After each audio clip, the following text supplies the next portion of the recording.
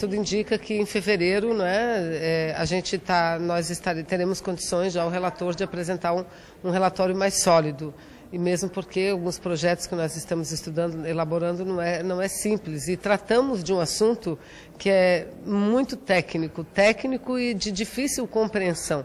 Aliás, nós estamos tratando com algo que é muito novo no mundo, não é? Não só o Brasil, mas vários outros países estão envolvidos nesse mesmo debate, a exemplo do, da comunidade europeia, não é? Que busca é, conosco, nós já solicitamos informações, eles sugeriram que ao invés só das informações, que pudesse manter essa troca de informações, mesmo porque eles querem apresentar um relatório consistente e gostariam de ter esse diálogo conosco.